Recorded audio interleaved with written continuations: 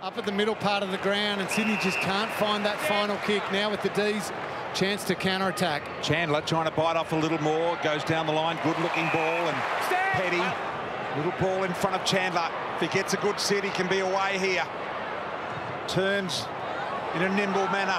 High ball, what a strange jump it was. Inside of the ground, the kick from Jordan inboard. Chandler, well done, Florent came forward to contest. Broke up that play.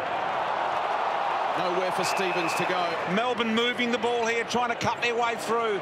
Little handball comes here. Opportunity might have been Chandler that got caught, and it was. McCartan tries to fight through. Here's Chandler. Finds his right boot and finds the goal. Thought about Van Rooyen for a moment. He said, no, I'll chew off a bit more and hit this target. And he did. Chandler with a real difficult shot at goal. No problems at all. That is a goal. He drags it through. Just look at the top of your screen.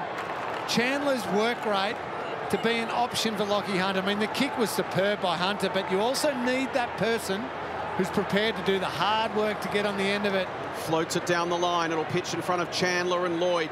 Lloyd tries to slap it to the line. Nicely gathered in by Fritsch. Langdon right on the boundary line. Didn't think about the goal. The kick around the corner was pure class. Little bit of wind there. Inside left goal post it needs to be. And it is perfect. Got his third, Chandler. Out to half forward, one-on-one. -on -one. She's been neat today, Kade Chandler. Really neat. Just played his role. You don't get many opportunities as a small forward, but he's just done it all well.